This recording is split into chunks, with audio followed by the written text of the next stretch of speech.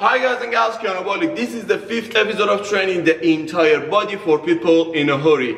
In this episode, we train the entire body in only 20 minutes. I've already made other videos about the full body training and I'm gonna mention them in the description and I'll go through the details and how we do these routines. So if you want to learn more and also if you want to know how to do the exercises for today's routine, just check the description. Specifically, if you're watching from my YouTube channel, you can just click on the links and uh, you're gonna go straightly to the videos and just watch the instructions. I'm just gonna mention the exercises and then we're gonna kick it off. So, the usual warm-up that we have, laying leg swing, bridge, and laying cycle. We rest, we go to the main nine exercises.